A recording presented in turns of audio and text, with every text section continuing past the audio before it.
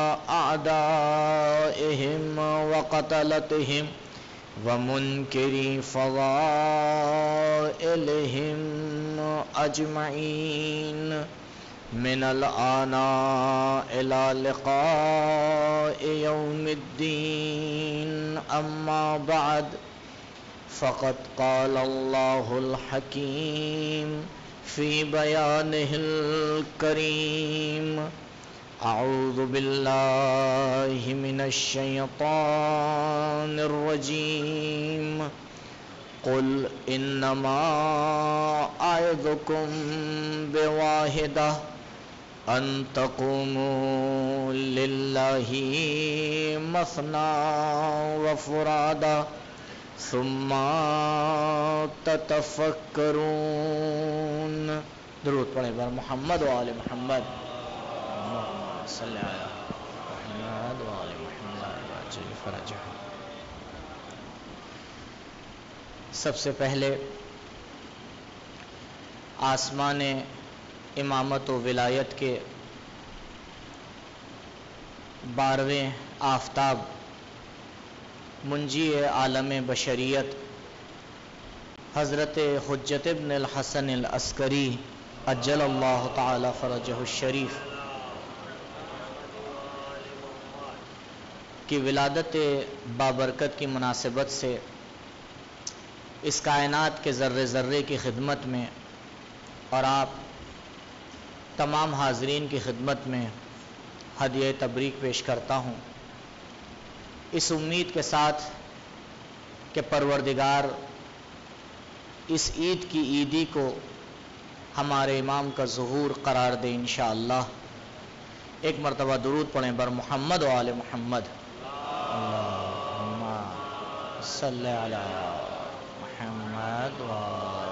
मोहम्मद।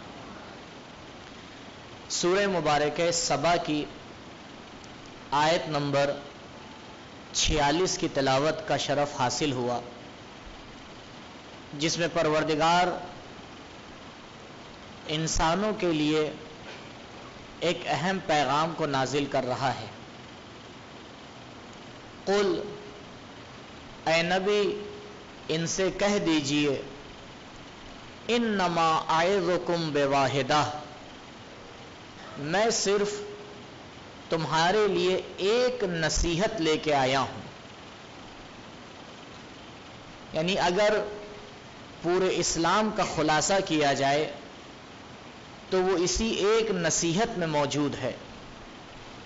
ए नबी, इन सबसे इस बात को कह दीजिए, कुल इन नमा आयदुकुम वाहिदा। ये लफ्ज़ इन नमा से आप आशना हैं। जब भी आय तथहीर की तिलावत होती है, आप उसके शुरू में लफ्ज़ इन्नमा को देखते हैं। लफ्ज़ इन्नमा यानी बस यही है। इन्नमा आयजुकुम बेवाहिदा। बस परवरदिगार की यही एक नसीहत है। यानी अगर ये एक नसीहत पर अमल हो गया तो फिर तमाम मकासद इस्लाम पूरे हो गए। और अगर इस एक नसीहत पर अमल नहीं हुआ तो फिर देखना पड़ेगा कि इस्लाम एक ज़बानी दीन है या अमली दीन है। परवरदिगार, वो एक नसीहत क्या है? इन नमा आयदुकुम बेवाहिदा कुमुल्लाह वो वसीयत यह है कि अल्लाह को नज़र में रखकर ज़िम्मेदारी के साथ क्याम करो। मसना और फुरादा, अब चाहे जमात के साथ हो, चाहे अकेले हो, लेकिन इस बात का ख्याल रखना कि यह काम जज्बाती नहीं होना चाहिए। सुम्मा ततफक्रून बल्कि तुम्हारा हर काम गौर व फ़िक्र के मैार पर होना चाहिए। अजीजों, इस आयत को चुनने की वजह हमारा मौजू है कि जिसके जैल में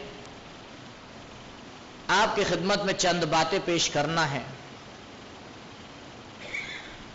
कि वो इंसान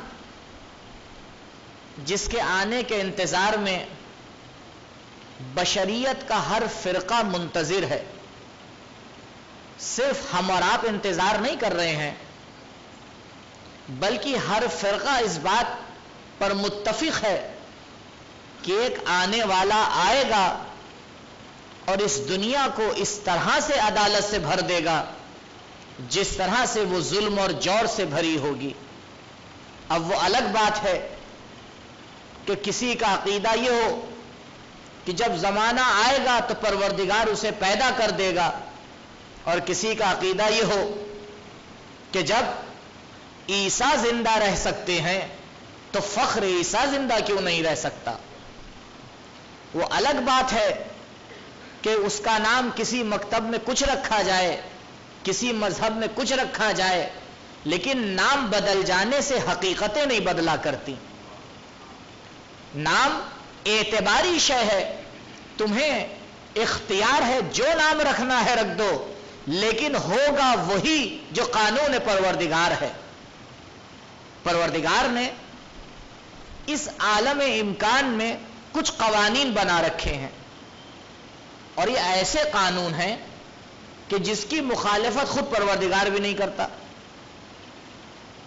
क्योंकि ये जो कानून है वो उसके बनाए हुए हैं। और उस कानून के अमल होने में न कोई मकतब दखालत रखता है, न कोई मज़हब दखालत रखता है। आप बताएँ, अगर आप माचिस की तीली को माचिस के ऊपर घिसेंगे तो आग लगेगी या नहीं लगेगी? का लगेगी? का नहीं, कबला? माचिस की तीली को लेने वाला मुसलमान होना चाहिए। काबला, ऐसा नहीं है। यह कानून नेचर है। अब यह तीली चाहे मुस्लिम के हाथ में हो, चाहे गैर मुस्लिम के हाथ में हो, चाहे बच्चे के हाथ में हो, चाहे दीवाने के हाथ में हो, चाहे आलिम के हाथ में हो, चाहे जाहिल के हाथ में हो, बस ज़रूरी यह है कि इस माचिस की तीली को माचिस के ऊपर घिस दिया जाए, आग लग जाएगी। का यह हमारा बनाया हुआ कानून है। ऐसा नहीं है। और अगर फासला रहा माचिस की तीली और माचिस की डिबिया में, और आप इसको यूँ करते रहे। अब चाहे कितने ही खुलूस से आप कल में तोहीद पढ़ लें, आग नहीं लगने वाली। तकबला मैं तो बड़े खुलूस से इसको हिला रहा हूँ। कहा, खुलूस आपका अपनी जगह पर अच्छा है, लेकिन इस काम को करने के लिए जो कानून है उसके ऊपर अमल करना पड़ेगा। तो कभी कभी हमारा दुआ मांगना भी ऐसा ही हो जाता है। हम बड़े खुलूस से दुआ मांगा करते हैं, लेकिन उस दुआ को पूरा करने के लिए जिस मेहनत की ज़रूरत होती है, उस पर अमल पैरा नहीं होते हैं। तो अजीजों, खुलूस अपनी जगह पर होता है, कानून अपनी जगह पर होता है। लिहाजा, इन दोनों का ख्याल रखना बड़ा ज़रूरी है। कि खुदा वंद मुताल ने जो कवानीन बनाए हैं, वो खुद उसकी मुखालिफत नहीं करता। मोजा एक अलग मसला है। मुजा देखने एक रेयर केस होता है। दसियों, बीसियों, सदियों में एक आध बार हो गया तो हो गया। तो ये कवानी ने नेचर है, परवरदिगार ने कानून बनाया है। अब एक मामला है हमारे और आपके सामने, जो इसी आयत के जैल में मुझे आपकी खिदमत में अर्ज़ करना है, कि आदिलाना हुकूमत कायम होना है, इसमें कोई शक नहीं। अगर परवरदिगार इतना अजीम इंतज़ाम करे, ज़मीन का फर्श बिछाए, आसमान का आशियाना लगाए, सितारों की कंदीलें जलाए, और बार बार हिदायत के लिए अपने अंबिया को और किताबों को भेजे लकत अरसलना रसोलना बिलबैनात व अनजलना माहमुल किताब वल मीज़ान ले यकूमन नास बिलकिस्त हमने अपने रसूलों को भेजा और उनके साथ साथ किताबों को भी भेजा और मीज़ान को भी भेजा। हमारा मकसद यह था ताकि लोग और इंसानियत अदालत से काम लें। तो परवरदिगार ने मकसद आके सूर्य मुबारक हदीद की, इस आयत नंबर 25 के अंदर ज़िक्र कर दिया कि देखो इस कायनात की इंतहा अदालत पर है। इसीलिए आप देखें कि जब उसूल दीन को बताया जाता है तो उसमें अदालत परवरदिगार का ज़िक्र अलग से होता है। आपने गौर फरमाया कि क्या परवरदिगार की इतनी सिफात में सिर्फ़ एक ही सिफत अदालत है? क्या खुदा आलिम नहीं है? क्या खुदा कुदरत नहीं रखता? क्या परवरदिगार हिकमत नहीं रखता? हज़ारों, सैकड़ों परवरदिगार की सिफात में से ओलामा ने एक ही सिफत को लाकर उसूल दीन में रखा। आपने उसूल दीन को गिनाना शुरू किया, कहा तोहीद, और तोहीद के बाद फ़ौरन बारी आ गई किसकी? अदालत की। क्यों? क्योंकि अदालत परवरदिगार की एक ऐसी सिफत है जिस पर हमारे बहुत से मामला टिके हुए हैं। हमारे बहुत से मसाइल अदालत परवरदिगार के ऊपर टिके हुए हैं और परवरदिगार ने इस कायनात को भी अदालत के ऊपर कायम किया है। कुरान आवाज़ दे रहा है, बिल अदले कामत समावत वल अर्द। हमने ज़मीन और आसमान को अदालत के ऊपर कायम किया है। हमने अंबिया को इसलिए भेजा है, ले यकूम अन्नासुबिल किस्त, ताकि ये सब के सब अदालत के ऊपर काम करें। इस दुनिया की इंतहा को भी परवरदिगार ने अदालत के ऊपर रखा है। तो अदालत एक अहम सिफत है, जिसके बारे में इंसान को गौर करना चाहिए। कायनात की इंतहा अदालत के ऊपर होना है। इसका मतलब यह है कि एक आदिलाना हुकूमत कायम होना है। क्योंकि अगर वो कायम ना हो तो इस कायनात का मकसद पूरा नहीं होगा। वो और होते हैं, जिनके काम बगैर मकसद के हुआ करते हैं। वो हाकिम मुतलक है, हकीम मुतलक है, जो एक जर्रे को भी बगैर हिकमत के नहीं हिलाता है। तो वो इस पूरी कायनात को बगैर हिकमत के कैसे खल्क कर देगा? तोहीद मुफजल का आप उठा के मुताल कीजिए। जिसमें हजत नातिक इमाम जाफ़र सादिक सलाम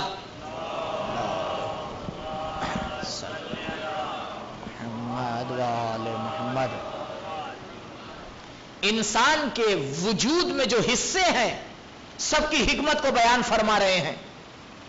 ए मुफजल देखो परवरदिगार ने क्यों दो आँखें दी हैं? क्यों आँखों के ऊपर भवों को बनाया है? क्यों नाक को इस तरह से बनाया है? क्यों होठों को इस तरह से बनाया है? तमाम हिकमतों को मौला बयान फरमा रहे हैं। तो जब परवरदिगार किसी भी शय को खल कर रहा है, उसके पीछे एक हिकमत जारी है तो कायनात के पीछे हिकमत परवरदिगार ने यह रखी कि इसकी इंतहा और इसका इख्तिताम अदालत पे होना है। अदालत क्या है? कभी कभी हम अदालत का माना मुसावात से कर देते हैं। चंद मिनट मेरे साथ रहिएगा ताकि बात की वजाहत हो जाए। क्योंकि सारी बातें इसी जुमले की तरफ़ पलटेंगी। अदालत का माना बराबरी से कर देते हैं। अब फ़र्ज़ कीजिए, मजलिस बर्पा हुई और अब जब लोग जाने लगे तो आपने किसी को दरवाजे पे खड़ा कर दिया तबर्रुक बांटने के लिए। अब जो आता जा रहा है आप उसके हाथ में एक तबर्रुक देते जा रहे हैं। एकदम से आपके चजाजात भाई आ गए। आपने, अब जो हाथ बाहर निकला तो एक के बजाय दो। आपने उनके हाथ में थमा दिए जैसे ही थमाए, जो साहब पीछे खड़े थे, उन्हीं ने शाने पे हाथ रखा। तकबला अदालत से काम लीजिए। का क्या मतलब? भाई देखिए, बराबर से बांटिए तो पता यह चला कि लोग अदालत का माना बराबरी करते हैं। मिसालें भी दी जाती हैं, जो अदालत मुतलक है, उसके मजहर की, अमीर कायनात अली इब्न अबी तालिब सलाम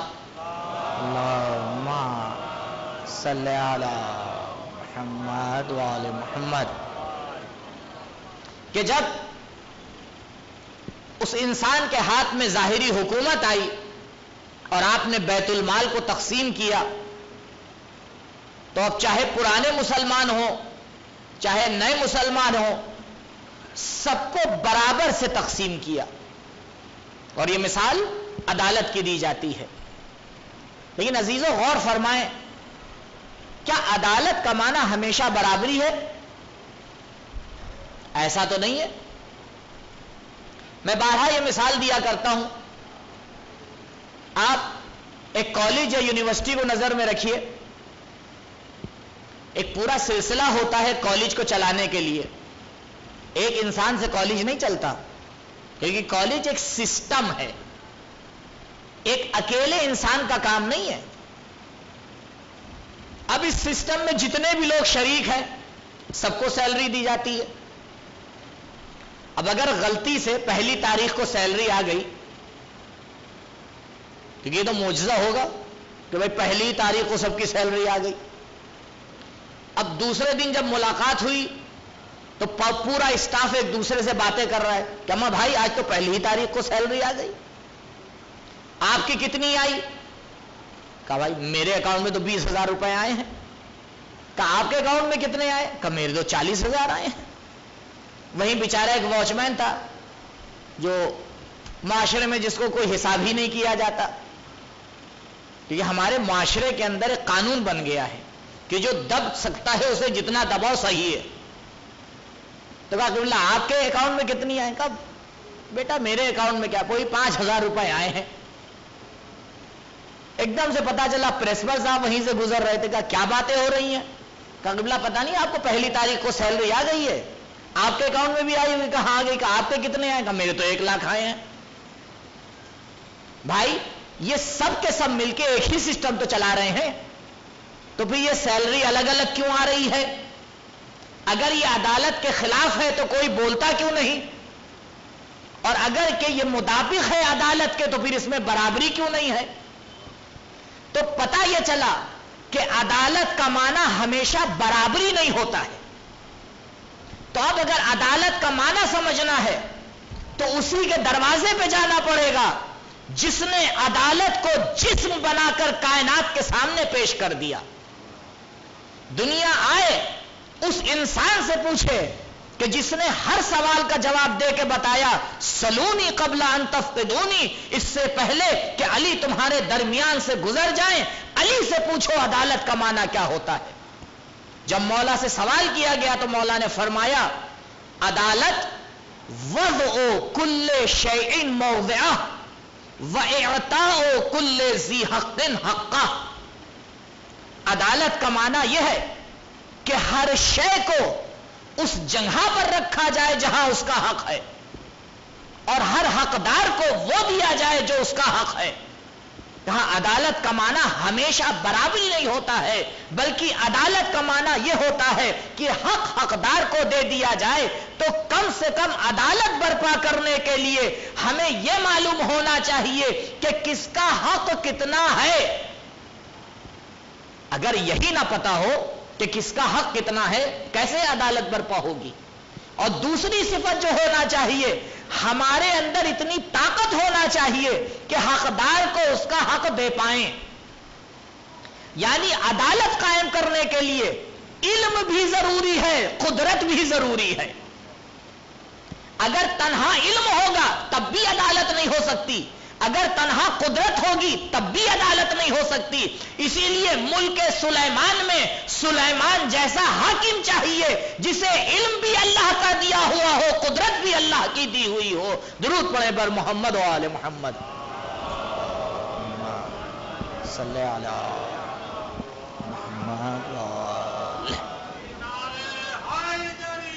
या अली तो आपने गौर फरमाया? एक ऐसे इंसान की ज़रूरत है। अदालत अगर कायम होना है, अगर इस दुनिया की इंतहा को अदालत के ऊपर खत्म होना है तो कम से कम चार शर्तें हैं। आज कोशिश करूँगा दो शर्तें आपकी खिदमत में पेश कर दूँ, बाकी दो शर्तें इंशाला कल और परसों। तो मकसद खिलगत हमारे और आपके सामने रोशन है कि यम लौल अरवा किस्तम व अदला कमाम जुल्म वजौरा वो इंसान इस कायनात को अदालत से भर देगा। अब माना रोशन हो गया, अदालत से भर देगा का मतलब क्या है? यानी जिसकी जो जंगा होगी वही देगा। अब कोई खिलाफत को गस्ब नहीं कर पाएगा। अब कोई किसी पर जुल्म नहीं कर पाएगा। बल्कि जिसका जो मकाम होगा वही दिया जाएगा। क्यों? क्योंकि इससे पहले जुल्म हो रहा होगा। आलिम को जाहिल का मकाम दिया जा रहा होगा, जाहिल को आलिम का मकाम दिया जा रहा होगा, जिसे मिंबर पे जाना चाहिए उसे उतारा जा रहा होगा, जिसे नीचे बैठना चाहिए उसे बिठाया जा रहा होगा। कहा, देखो, ये तुम करते रहो, तुम्हें तब तक के ये करने के लिए हम इजाज़त देंगे, जब तक कि वो नूर एक कामिल जुहूर ना कर जाए। लेकिन उसके बाद तुम्हारा इरादा नहीं बल्कि हमारा इरादा चलेगा। फिर हम तुम्हें दिखाएँगे कि आदिल अदल किसे कहते हैं, आदिलाना हुकूमत किसे कहते हैं, खुशहाली किसे कहते हैं, मुसावात किसे कहते हैं, नज्म किसे कहते हैं, इल्म किसे कहते हैं, ये सारे मानी और मफाहिम इस दुनिया में अपने आप को दिखाना शुरू कर देंगे। जब तक का ये मकसद खिलकत है ले यकूम नास बिलकिस्त ताकि लोग अदालत पे आके कयाम करें। का परवरदिगार, अगर एक ऐसा आदिलाना निज़ाम चाहिए तो कम से कम चार शर्तें उसके लिए ज़रूरी हैं। बगैर इसके नहीं हो सकता। और यही मेरा मौजू है आपके सामने, कि इस आदिलाना हुकूमत के क्याम में हमारा और आपका क्या किरदार है? हमारा और आपका कोई रोल है इसमें या नहीं है? हो सकता है कोई आगे जवाब दे कि किबला हमारा और आपका कोई रोल नहीं है। ये एक इलाही काम है, हो जाएगा। आप अपना काम कीजिए, आपको इससे क्या मतलब?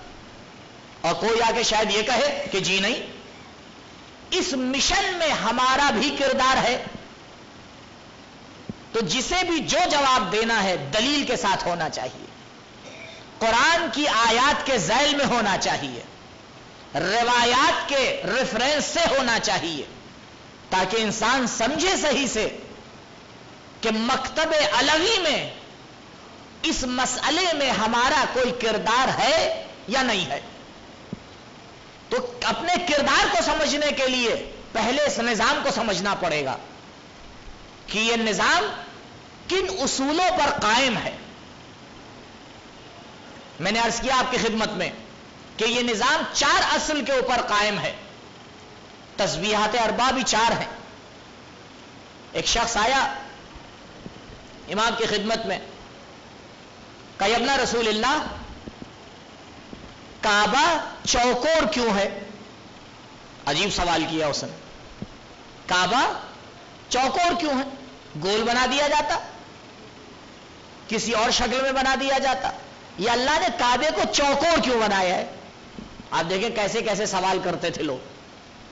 लेकिन जानते थे जिससे सवाल कर रहे हैं, वही जवाब दे सकता है। मौला ने फरमाया इसलिए कि काबा बैतुल मामूर के नीचे बना है। क्योंकि आप जानते हैं फिखी एतबार से ज़मीन के अंदर से लेकर अर्श तक काबा है। यानी ज़रूरी नहीं कि आप वहीं पे तवाफ करें। फिखी मसला है, अगर कोई हेलीकॉप्टर से भी तवाफ करे तो उसका तवाफ सही है। क्योंकि काबा ज़मीन के अंदर से लेकर आसमान तक काबा है। वो काबे का हिस्सा काबा है। तो मौला ने फरमाया, क्यों? क्योंकि खुदा ने अर्श के ऊपर बैतुल मामूर को बनाया है और बैतुल मामूर के बिल्कुल एहजा में, यानी उसके नीचे काबे को बनाया है। और बैतुल मामूर चौकोर है। लिहाजा काबा भी क्या है? चौकोर है। सवाल करने वाला समझदार था। का मौला, बैतुल मामूर क्यों चौकोर है? अब हमारे क्या तो मिजाज ही अलग होता है। अगर मौलाना से आपने सवाल पर सवाल कर लिया तो बड़ी मुश्किल खड़ी हो जाएगी। बेटा किबला की बात नहीं कर रहा हूँ। मैं अपने जैसे मौलवियों की बात कर रहा हूँ। तो पहले तो सवाल करना ही मुश्किल होता है। और अगर सवाल पर सवाल कर लिया, तब तो अल्लाह ही जाने क्या होने वाला है। लेकिन यह सीरत मासूमीन है, वो हमें बता रहे हैं कि देखो, साइल के जवाब को छोड़ना नहीं चाहिए। उसे पलट के फिर सवाल किया, मौला, बैतुल मामूर क्यों चौकोर है? मौला ने कहा, इसलिए क्योंकि तस्बीहात चार अदद हैं। सुबहान अल्लाह वलहमदुल्लाह वला इलाह इल्लल्लाह वल्लाह अकबर। परवरदिगार ने अपने बैतुल मामूर के घर को, हर सुतून को एक तस्बीह पर कायम किया है। एक को सुबहान अल्लाह पे कायम किया है, एक को अल्हम्दुलिल्लाह पे कायम किया है, एक को ला इलाहा इल्लल्लाह पे कायम किया है, एक को अल्लाह अकबर पे कायम किया है। लिहाजा क्योंकि तस्बीहात चार अदद हैं तो बैतुल मामूर भी चौकोर है। और क्योंकि बैतुल मामूर चौकोर है तो काबा भी चौकोर है। काश उस साइल ने पढ़ के एक सवाल और कर लिया होता कि मौला, तस्बीहात क्यों चार हैं? लेकिन वो यहीं पर रुक गया। अगर वो आगे बढ़ता रहता, कयामत आ जाती, जवाब खत्म ना होता। हमारी मुश्किल यही है हमारे सवाल खत्म हो जाते हैं, अहले बैत का जवाब खत्म नहीं होता। तो अब ये तो पूछने वाले की सलाहियत चाहिए कि वो कैसे पूछ रहा है। तो मैंने आपसे अर्ज़ किया तो ये असल भी चार ही अदद हैं। ये इसलिए मैंने आपको हदीस सुनाई, ताकि थोड़ा जहन में रह जाए कि मौलाना ने कई असल बताए थे। तो अगर आदिलाना हुकूमत कायम होना है तो उसके लिए भी चार असल हैं। पहला असल और ये चार असल सिर्फ़ इस हुकूमत के लिए नहीं हर जगह के लिए है। पहला असल, आदिलाना हुकूमत और आदिलाना निज़ाम के लिए हमारे पास एक आदिलाना कानून होना चाहिए। है? भाई, अगर आपके पास आदिलाना कानून नहीं है तो आप किस बेस पे यह हुकूमत चलाएँगे? आप देखें, दुनिया में जब इनकलाब आते हैं तो पहला काम क्या होता है? पहला काम यह होता है कि उसका कानून लिखा जाता है, है?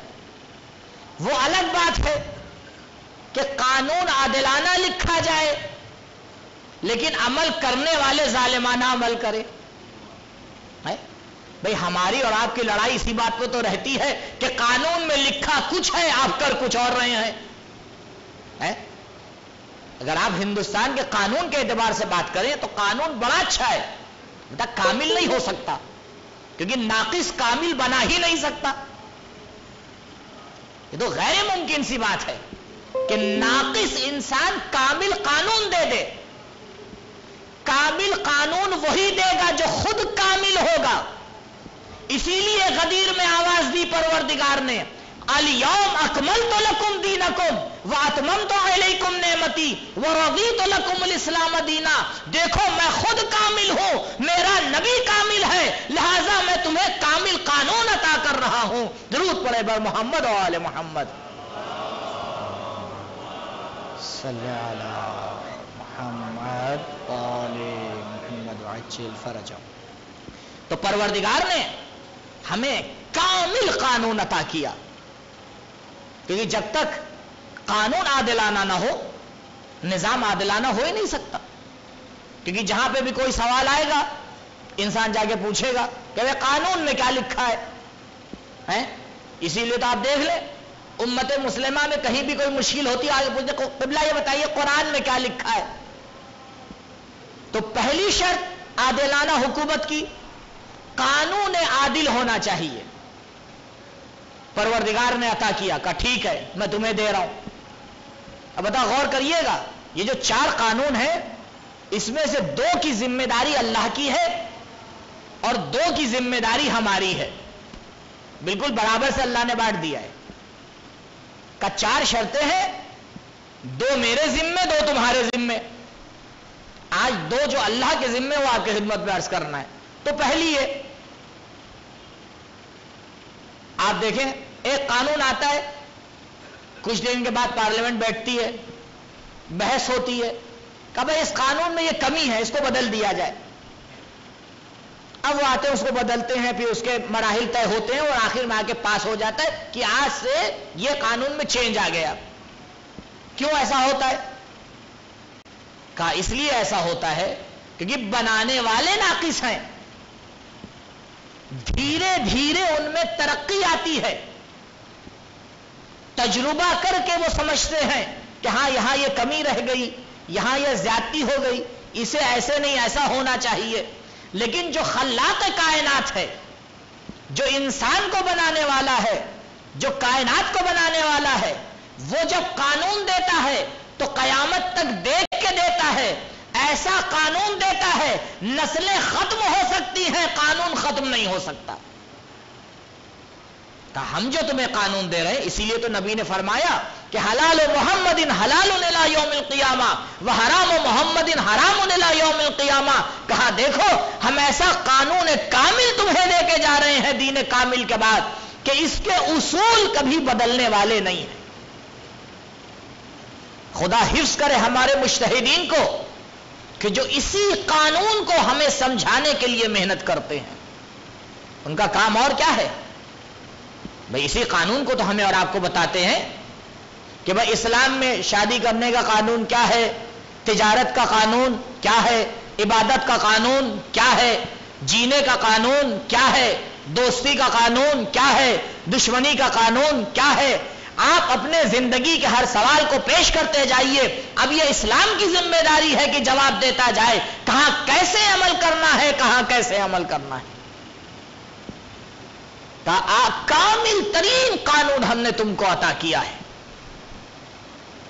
ऐसा कानून जो तुम्हारे सवालों से पहले तुम्हारा जवाब दे के जाता है। आज हमारे फुकाहा जो इस कानून को हमारे सामने बयान करते हैं तो इसके उसूल तो 1400 साल पहले बयान हो गए हैं। उनका काम क्या है? कहा हम बता के गए हैं तुम्हें? हमारी अहादीस में मौजूद है। अब तुम्हें, तुम्हारे लिए ज़रूरी है कि इन अहादीस में से अपने मसाइल का जवाब निकालो। तो अजीजों, आप बता दें, क्या हर इंसान के बस में है कि वो इन अहादीस से कानून को निकाल ले? कैसे मुमकिन है? मैं छोटी सी मिसाल दूँ। उर्दू जबान कितनी पुरानी है? 200 साल? इस जबान की उम्र 200 साल से ज़्यादा नहीं है। 10-20 साल और बढ़ा लीजिए। आज आपके शहर में जो लोग सही उर्दू जानते हैं, अगर उनके सामने 200 साल पहले की उर्दू पेश कर दी जाए वो समझ पाएँगे? 80 फ़ीसद बात नहीं समझेंगे 20 फ़ीसद समझ जाएँगे। इससे ज़्यादा तो नहीं समझेंगे। अभी आप उनके सामने गालिब के अशार पेश कर दीजिए। नहीं समझ में आएगा? पुराने जमाने की उर्दू पेश कर दीजिए। नहीं समझ में आएगी। अब आजकल तो जवानों को नए जमाने की भी उर्दू नहीं समझ में आती। अरे मौलाना बहुत सख्त बोलते हैं। थोड़े से इंग्लिश अल्फाज का सहारा ले लीजिए। तबा किबला मौलाना ही अपने आप को बदलता रहे, अपने आप आप नहीं बदलेंगे। माँ, आप भी थोड़ी सी उर्दू सीख लीजिए। आप सीख लेंगे तो आपका भी फ़ायदा है, पढ़ने का भी फ़ायदा है, सुनने का भी फ़ायदा है। है? तो एक के बदलने से मसला हल नहीं होता है। कौम के हर फर्द को आगे गौर करना चाहिए। तो ये जो उर्दू की मैंने आपको मिसाल दी, क्योंकि एक मसले को हल करना है। तो आज 200 साल गुजर जाने के बाद उर्दू सही से समझ में नहीं आती है। तो क्या यह कानून सिर्फ़ उर्दू जबान का है? या हर जबान का है। आज अच्छे अच्छे यूनिवर्सिटी के स्टूडेंट अगर उनके हाथ में शेक्सपियर की किताबें दे दी जाए, वो नहीं समझ सकते इंग्लिश को। क्योंकि वो उस जमाने की इंग्लिश है, आज के जमाने की इंग्लिश नहीं है। यह हर जबान का कानून होता है। जबान तारीख में आकर बदलती रहती है। इसलिए हर जमाने की अपनी जबान हुआ करती है। और हर इंसान अपने जमाने की जबान जानता है। लेकिन अजीजों, हज़ारों सलाम हो उन मुश्तहदीन और फुकाहा के ऊपर, जो 1400 साल के बाद बैठकर 1400 साल पुरानी अरबी के का, पर काम करके बताते हैं कि मासूम ये कह के गए हैं, कुरान ये कह रहा है। ज़रूर पड़े बर मोहम्मद वाले मोहम्मद।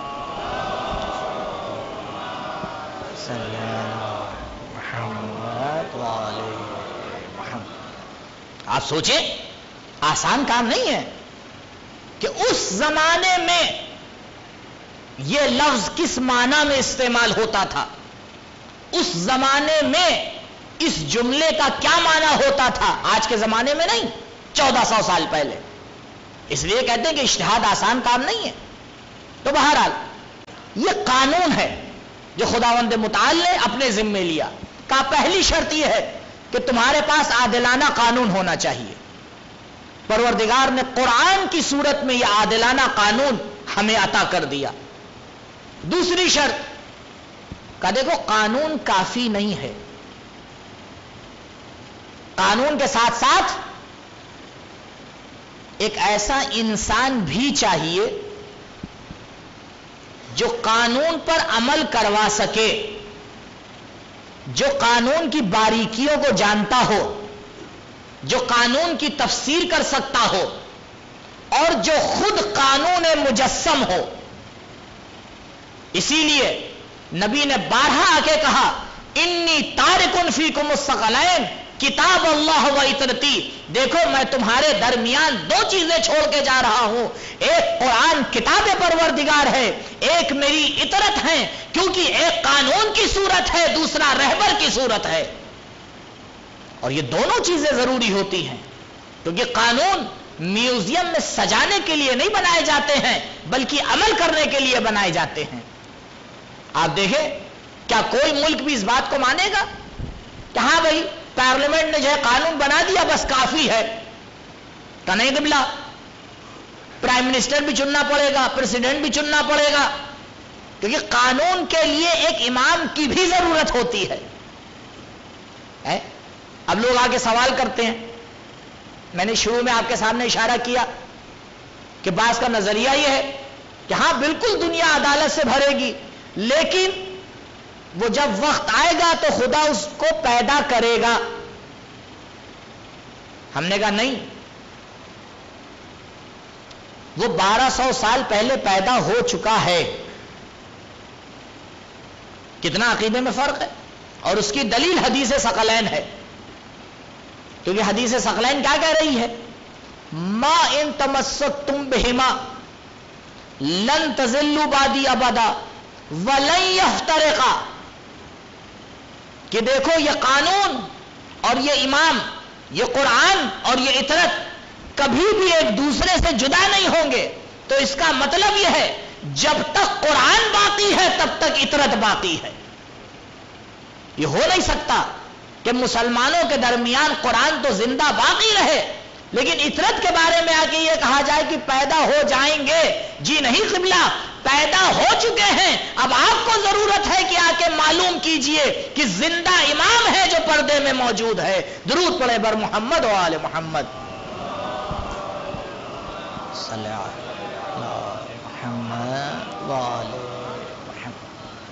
तो तनहा कानून से काम नहीं चल सकता। बल्कि कहा, एक दूसरी शर्त भी चाहिए इमाम भी होना चाहिए। और कहा, देखो, हर एक को ना बना देना, बल्कि ऐसा हो कि जो उस कानून की तमाम बारीकियों को जानता हो,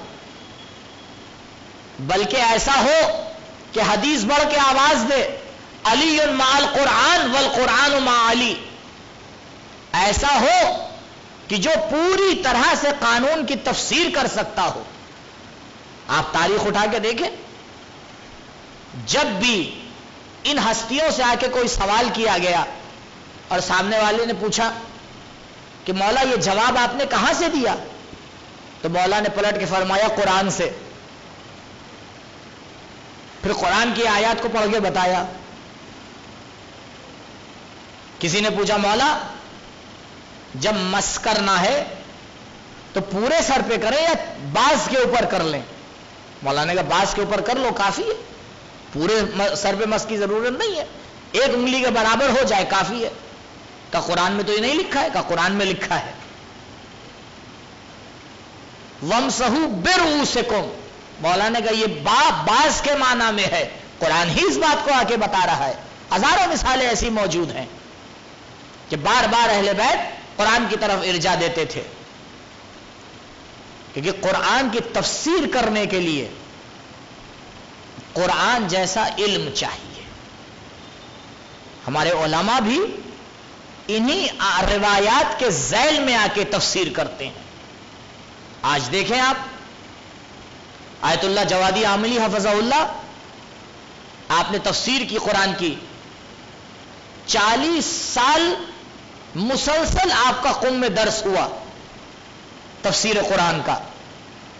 अभी तकरीबन, ठीक 20 दिन कम कर 22 दिन कम कर लीजिए, एक साल पहले खत्म हुआ है। मुसलसल 40 साल तक के वो दर्स चला। और एक तफसीर वजूद में आई, तफसीर तस्नीम, जिसकी अब तक के तकरीबन 70 जिल्दें आ चुकी हैं। और अभी बाकी हैं आना।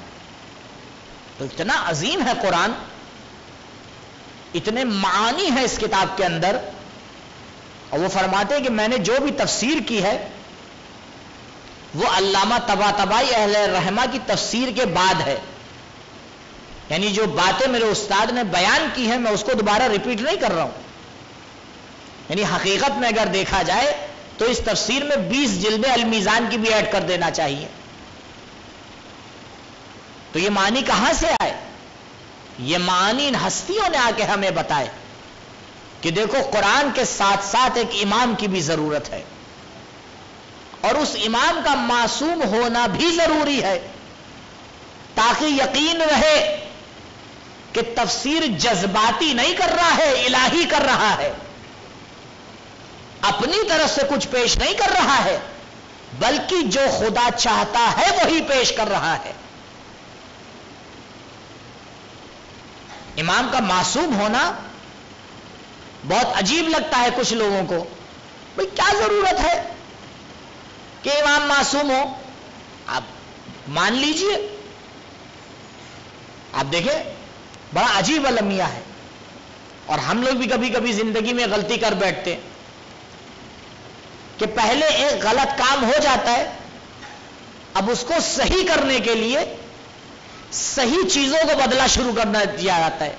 अब सही चीज़ें उसको बदल ले ताकि वो चीज़ बाकी रहे। नहीं। अगर परवरदिगार गैर मासूम की इतात का हक दे, मुतलका, हर एतबार से तुम्हें इसके पीछे चलना है। क्योंकि अगर हम मुश्तहिद की तकलीद की बात करते हैं तो मुतलक नहीं होती है, अपने एक दायरे में होती है। लेकिन जब इमाम की इतात की बात करते हैं तो वो मुतलक होती है। इमाम जिस वक्त जैसा हुक्म दे दे, मानना वाजिब होता है। क्योंकि इमाम का हक हमारे ऊपर हमसे ज़्यादा होता है। इसीलिए तो नबी ने मैदान गदीर में पूछा था अलस्तोला बेकुम मिन अनफुसिकुम क्या मैं तुम्हारे ऊपर तुमसे ज़्यादा हक नहीं रखता? कि का हक ऐसा नहीं होता है, इसीलिए फ़र्क होता है, तकलीद अलग मसला है इतात अलग मसला है। का इमाम की इतात मुतलक हुआ करती है, किसी को हक नहीं है, उसमें चू चरा करे, क्योंकि परवरदिगार ने आके मुतलक हुक्म दिया है कि वाती उल्लाह वाती रसूला वो उलिल अमर मिनको उलिल अमर की इतात मुतलक इतात है। यानी अगर इंसान देखें हमें हक नहीं है कि अपनी जान को हथेली पे लेके कहीं भी खड़े हो जाएँ। लेकिन अगर मासूम हुक्म दे दे तो वाजिब है। बहुत सी चीज़ें में हमें इख्तियार नहीं है, क्योंकि परवरदिगार एक महदूद इख्तियार देता है इंसान को। आप बताएँ, क्या हमें इख्तियार है कुछ भी देखें? है? इख्तियार नहीं है ना? हाँ अगर इख्तियार से बेख्तियार होकर देखेंगे तो फिर कल तैयार हो जाए आतश जहन्नम के लिए। कहा, तुम्हें इख्तियार इस बात का नहीं दिया जा रहा है। तुम्हें इस बात की इजाज़त नहीं दी जा रही जो दिल चाहे बोल दो, जो दिल चाहे देख लो, जो दिल चाहे सुन लो, जो दिल चाहे कर दो, नहीं, बल्कि तुम्हारे आमाल कानून के दायरे में होना चाहिए। तुम्हें देखना वो है जिसकी हम इजाज़त दें। तुम्हें बोलना वो है जिसकी हम इजाज़त दें। तुम्हें करना वो है जिसकी हम इजाज़त दें। तो इस्लाम आके पाबंदियाँ लगाता है ताकि इंसान कमाल तक के पहुँचे। ये मेरा मौजू नहीं है, ये अपनी जगह पर तयशुदा बात है। तो कानून जो बनाया जाता है, अगर उस कानून के ऊपर अमल करवाने वाला इंसान मासूम ना हो तो उम्मत बहक जाएगी। क्योंकि इतात इतात मुतलक है, किसी कैद की मोहताज नहीं है। यानी वो जो करे तुम्हें इतात करना है। अजीजों, अगर ऐसी हस्तियाँ मासूम ना हो, ना मकसद इस्लाम पूरा हो पाएगा, ना मकसद परवरदिगार पूरा हो पाएगा। ज़रूरी नहीं है कि हम बार बार कोई हदीस ला के पेश करें बार बार कोई आयत ला के पेश करें। ये तो अकली मसला है। अकली मसला है। आप देखें। अगर एक ही सब्जेक्ट में तीन चार लोग हैं, एक का इल्म कम है, दूसरे का उससे ज़्यादा है, तीसरे का उससे ज़्यादा है, चौथे का उससे ज़्यादा है। अब इन सब में इख्तलाफ हो जाए, आप किसकी बात मानेंगे? है? अब यहाँ पे कोई आयत तो ज़रूरी नहीं है, कोई रिवायत तो ज़रूरी नहीं है। का भाई, अगर इसमें इख्तलाफ हो जाएगा तो जो सबसे ऊपर है उसी की बात मानेंगे।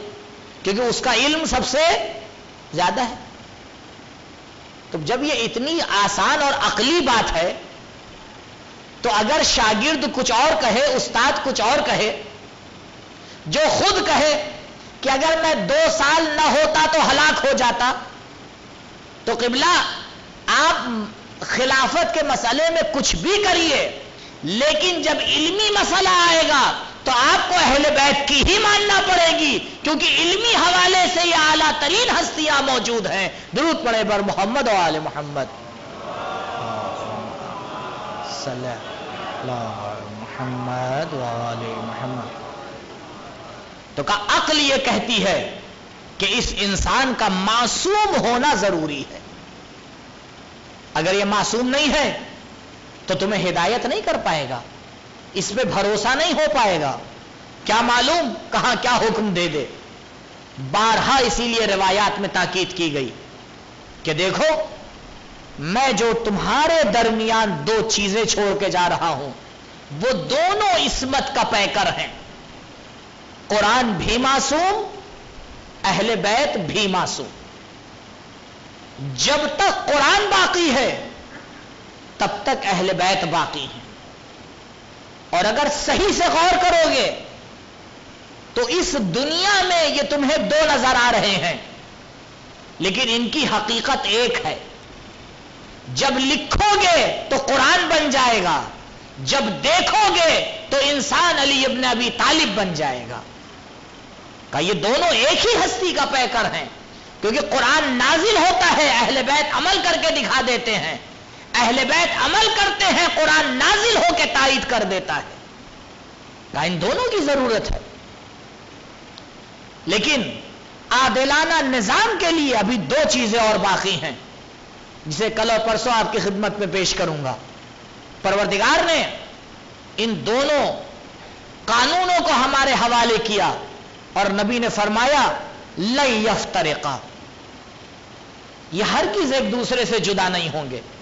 हत्ता यरदा अलैल हौज, यहाँ तक कि कयामत में हौज कौसर पे मेरे ऊपर दाखिल हो जाए। हाँ अजीजों, अगर कायनात के जुल्म और मजालिम ना होते तो ये हस्तियाँ अभी हमारे और आपके दरमियान मौजूद होती।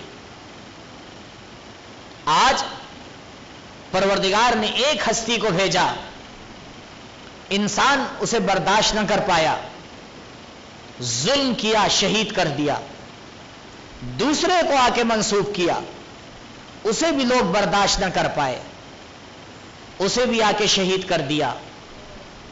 परवरदिगार की हिदायत का सिलसिला जारी रहा। यहाँ तक के ग्यारह सूरज इंसानों की हिदायत के लिए परवरदिगार ने भेजे।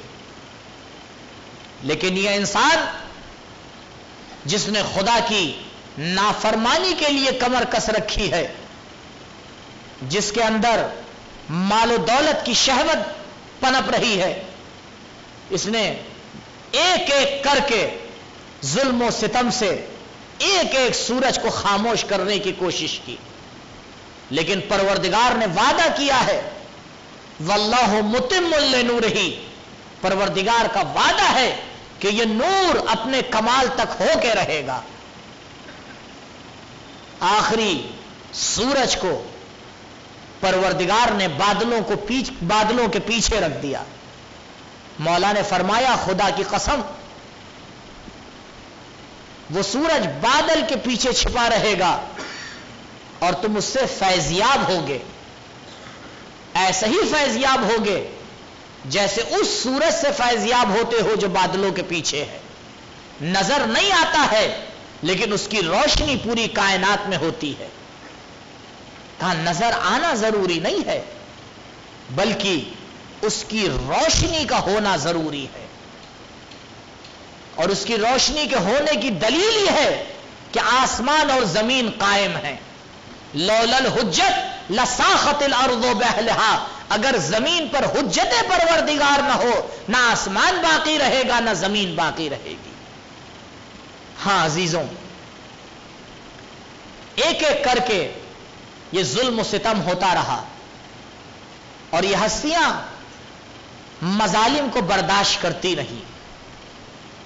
लेकिन कब तक ये मजालिम बर्दाश्त किए जाते? आप सोचें आज किसी को उसकी माँ का पुरसा देना है तो इसी हवाले से चंद जुमला मसायब के आपकी खिदमत में अर्ज़ करना है। वो बीबी जिसे उम्म अबीहा का लकब दिया गया हो, जो अपने बाप के लिए माँ का मकाम रखती हो। आप सोचें, वो उम्मत के लिए क्या मकाम रखती होगी? इधर नबी इस दुनिया से रुखसत हुए, उधर जहरा के घर से आवाज़ें उठने लगी, सुब्बत अलैया मसाइबुल्ला सुब्बत अलल अयाम सिरना लयालिया, बाबा, आपके जाने के बाद जहरा पे इतने मसाइब हुए कि अगर वो रोज रोशन के ऊपर पड़ जाते हैं तो शब तारीख में बदल जाती है। मौलाए कायनात ने बकी में एक जगह को मुशखस कर दिया और जिसका नाम बैतुल हुज्न रखा गया। एक खजूर का दरख्त, जिससे मौला एक कपड़े को साहिबान की तरह बाँध दिया करते थे और जब सुबह घर से निकलते थे तो एक हाथ में हसनैन की उंगलियाँ होती थी। साथ में बीबी हुआ करती थी। बैतुल अहजान में ले जाकर छोड़ देते थे और शाम को जब वापस पलटते थे तो बीबी को लेते हुए घर आते थे। क्योंकि अब मदीने वालों को तो यह भी बर्दाश्त न था कि बीबी अपने घर पे अपने बाबा को रो सके। हाँ आजादारों लेकिन एक वक्त जब मौला बीबी को लेके पहुँचे तो अजब जुल्म सितम देखा। जालिमों ने उस दरख्त को भी काट दिया था। कि जिसके साहे में बीबी बैठ के अपने बाप को रोया करती थी हाजाद हरो एक माँ हमारे दरमियान से गुजरी है, लेकिन वो 18 साल में बूढ़ी नज़र नहीं आ रही थी।